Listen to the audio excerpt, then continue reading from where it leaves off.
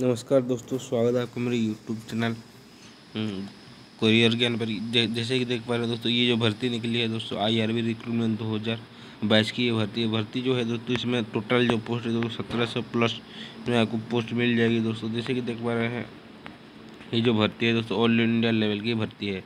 यानी कि दोस्तों, लेकिन ऑल इंडिया लेवल में पहले नहीं हुआ दोस्तों, कुछ राज्य के लिए भर्ती हुआ। जैसे कि देख पा रहे हैं यहाँ पर मिनिस्ट्री ऑफ़ डिफेंस की तरफ़ से भर्ती है दोस्तों कॉन्स्टेबल हविलदार एंड सिपाही की भर्ती है। टोटल नंबर ऑफ़ पोस्ट की बात करें तो दोस्तों सत्रह सौ सत्रह हज़ार प्लस पोस्ट की भर्ती है दोस्तों।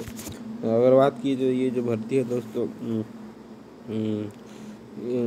आने वाली है दोस्तों ऑफिशियल वेबसाइट है दोस्तों, पुलिस जो भी डॉट इन पर, यानी आई आर पुलिस जो भी डॉट इन पर इसमें विज़िट कर कर आप इसकी पूरी जानकारी आप ले सकते हैं दोस्तों।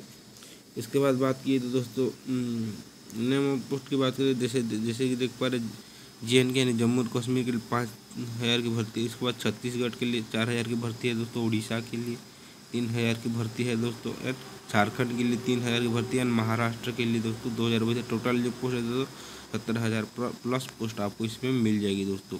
इसमें अगर योग्यता की बात करें, यानी क्वालिफिकेशन की बात करें दसवीं पास ले रहा है दोस्तों एप्लीकेशन फ़ी एप्लीकेशन की बात करें एज की बात की तो एटीन ईयर से आप इसमें अप्लाई कर सकते हैं और ट्वेंटी फाइव ईयर इसमें आप अप्लाई कर सकते हैं दोस्तों।